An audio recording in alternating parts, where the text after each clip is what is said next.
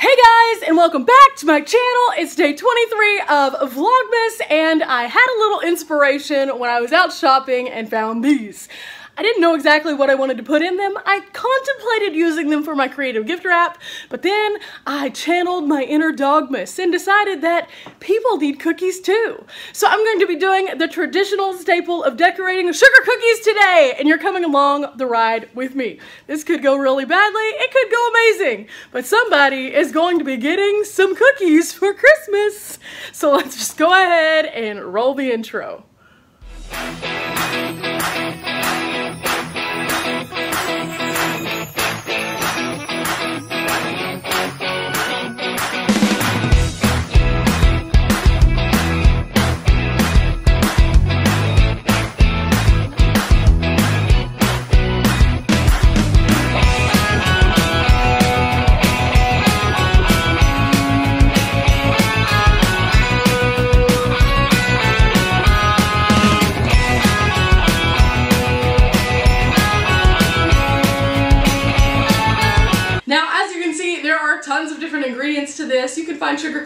Recipes all over the internet. So instead of going through the step-by-step -step instructions of this, I thought, why not just show you the process, take you along, have a little fun, and talk to you at home. Let's just get straight into our chit-chat, shall we? I think we shall.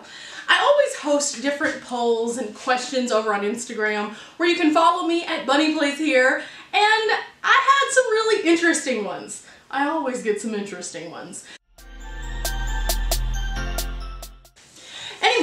There I had a Q&A time and I decided that I would answer all of those questions right here today on this channel.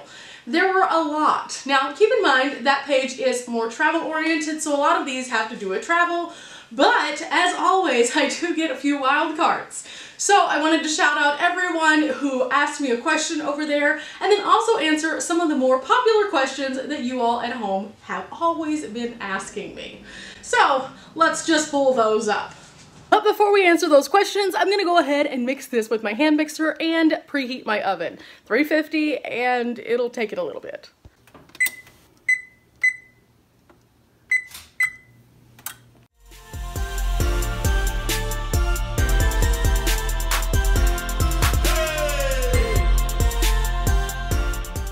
Now, just a heads up, some of these names I may pronounce wrong. The first question comes to me from Hey Kelly Brunelli.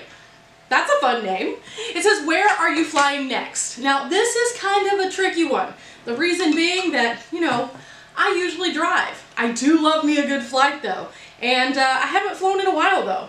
So, I don't know when I will fly next, but I need to probably figure that out because I have a lot of places that I would like to go and sometimes it just works out better to fly, especially whenever I'm trying to go someplace in a shorter amount of time. My next one comes from Michelle Marie McNamara. Now, I've done a video previously of HelloFresh and Michelle actually was the one who enabled that to happen, so thank you again, Michelle. But today, Michelle asks, did I make my sweater, my holiday sweater? Yes, I did. Several of you have since reached out to me and made comments about how you like the sweater, asked me where I picked it up. If you do happen to be watching my Vlogmas, then uh, check out the Ugly Sweater Party. I have two different videos, the first of which I make the sweater. Okay. Woo! Messy, messy. Um, I had another question from not your average mom of five. Now, this is Laura, and Laura is amazing. She has an awesome mommy channel where she does family style like content and I absolutely love seeing her posts because she has just a really fun take on everything. Now her question is what is my favorite holiday dish? There are several. I did make a couple of these already on my channel with the roll-ups and then the meatballs of course, but I do have a few others. My favorite holiday dish though is really simple to make and only requires a few ingredients. Now, I haven't made this on the channel obviously, but this is something that you might want to try at home. You're just going to need cream cheese, a little bit of lemon juice, some of that sweetened condensed milk, and a graham cracker crust. You literally mix up the ingredients, pour it into the graham cracker crust, and pop it into the refrigerator. Next up, I do want to go ahead and answer the question sent to me by the Rustic Barn 407. What is my favorite holiday drink? Well, I did make Grinch Punch and that was pretty epic. The green punch that I made, I really, really like that. However, if I'm looking for other holiday drinks, hmm, I like me a good sangria. It's not really holiday, but you can make it holiday themed by adding like cranberries and things like that to it, and it actually tastes quite good. Time to put in more of our wet ingredients and mix again. Yay. Angela Lake Travels asked, where do I get all of my colorful leggings? And that question is a little detailed. I have several different places that I do get my leggings and I do try to share some of those, but I have found recently that for the super bright, colorful, soft leggings, that actually Walmart and Walmart.com have been a great source of inspiration for that. But I have also found that shopping at places like um, Ross and TJ Maxx, they have a surplus of these. Now there are some higher label brands that are more like athletic wear and they are thicker materials. You can find those at REI, Lululemon, and several other stores. But for my purposes, I like something that's just cute and in the moment, and I love the soft feel. There are a few places online that I will be checking out in the coming year and sharing those with you as well to see what the quality is. Before I mix the wet and dry ingredients, I just would like to address a few more of your questions, and some of these are personal questions, so eh, let's see how this turns out. Ulysses Soto asks, when am I going to the Caribbean? I don't know, but I want to go to the beach so, so bad. 90s Baby 1993 asks, Am I single? Yes, yes I am. Yay. DJ Check 1 asks, Do I ever come to Denver? Why, yes I do! I love Denver! Denver has been really good to me and I've been there several times. I have thoroughly enjoyed every single trip I've made to Colorado and it's been one exploration after another. The past trip that I was there, I actually had a blast meeting some of my fellow Questavillians from The Dyrt. And for those of you who don't follow my other page, The Dyrt is my camping resource that I use for all of my cool campsites. There's this whole network of people who all like to be outdoors and do cool things. And it's so fun because I connected with my soul tribe and we had a blast. 10K Cheech Marley, that's quite a name by the way, asks, why am I so captivating? Clearly, you only see a portion of my life. I'm kind of normal otherwise. But thanks! I really do appreciate it.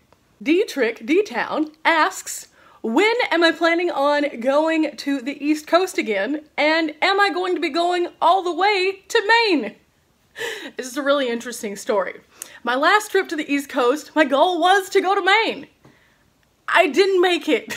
It just didn't happen. There's nothing I want more than to eat some Maine lobster. I think it would be delicious to have fresh out of the sea lobster all yummy. But I got to DC and spent a week there and then decided it was time to come home. Okay, those are a few of the questions. I'm gonna go mix this and uh, then we'll continue this little saga of getting to know me.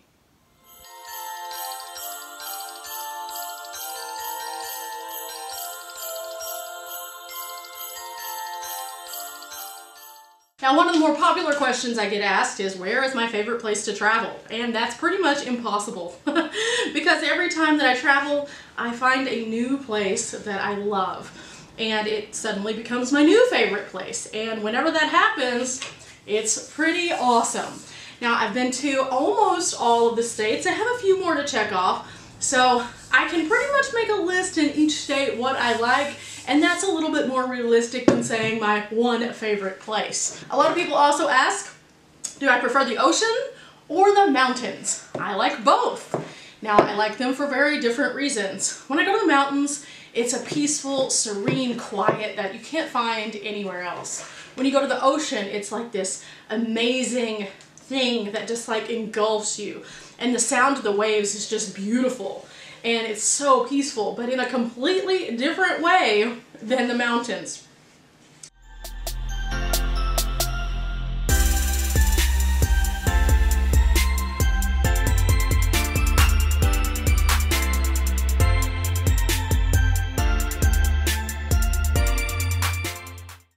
A lot of people constantly are asking me, do I travel by myself? And I do. Sometimes I have a friend who gets to come along, but because I go for such lengthy amounts of time, it often becomes very difficult to find a friend to travel with me. So, a lot of times that means I'm living the solo life out on the road. And that leads to the next most popular question in that little neighborhood. Am I afraid? I think that it's really interesting that today everyone thinks that if you're traveling by yourself as a woman, you have to be afraid. I do believe that there is a sense of awareness that you must have, but a sense of awareness and being outright afraid are completely different. I've met a lot of amazing people and I've met very few actually scary people. And I think that because we see the world through such like an ugly lens, a lot of times with the news, that's why we think that. So, am I afraid? Not really. Am I aware? Yes, very much so.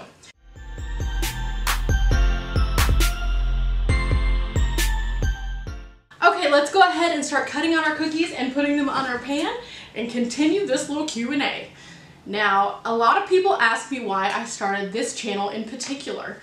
And I had some really good reasons for that. I love to try out new things, and this gives me an opportunity to do so.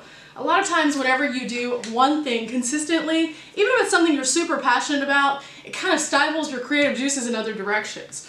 Never wanted that to happen, so I decided why not take all of the things that I absolutely love doing and put them into one massive second channel.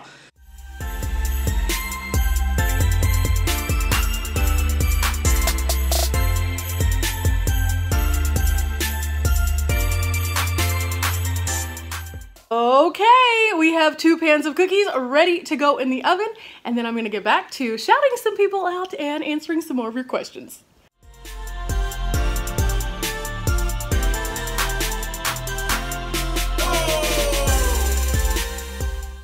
Little Christmas cookie dough never hurt anybody, right? so good, guys. Mm, I can't wait.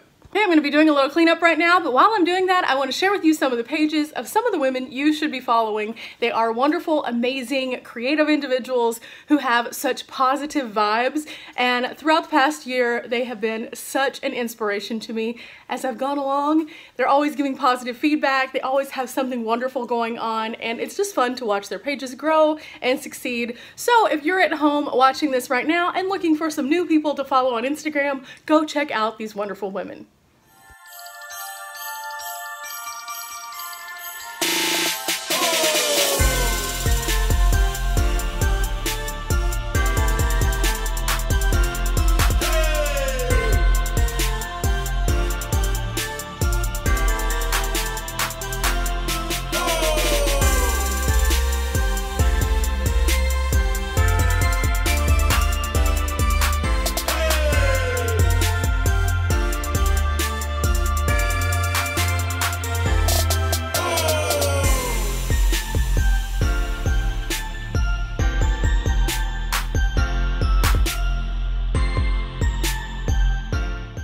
These all turned out perfect, and these were thinner, so I kind of expected this.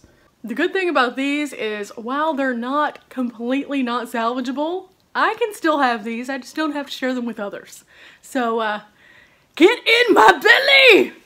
Now I'm gonna go ahead and try to decorate these. I made some frosting. I've never made this before, so I don't know how it's gonna turn out, but we're going to uh, try. If I can just get the sprinkles open.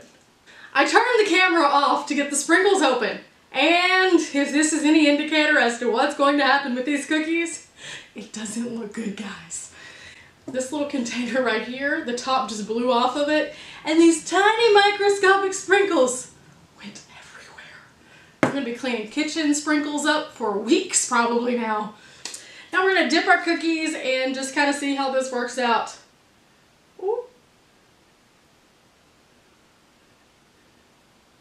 They're not pretty. Aww, I really wanted this to be successful. I really wanted this to be successful. Maybe we can smooth them around. And I'm back. This will work great because then I can just kind of throw it away when I'm done. So let's try to frost a few of these and just kind of see where it goes. I don't even know if this frosting recipe is going to harden. I have no idea. All of this is brand new to me. Let's add some sprinkles just to make us feel better about this.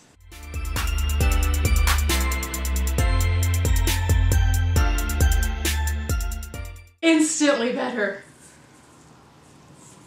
These look very festive now, so I'm having a little bit less anxiety about putting these together.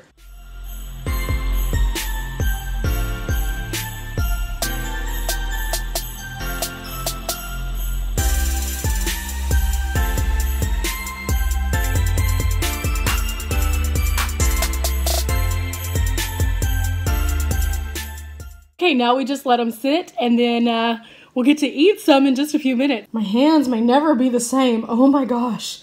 Does anyone at home know how to get food coloring off of your hands? Because this seems to uh, be like a tattoo now. Good times. Okay guys, we've been waiting for just a little bit and now it's time for us to plate up and uh, put some more of our cookies in our little inspiration boxes. I can't wait.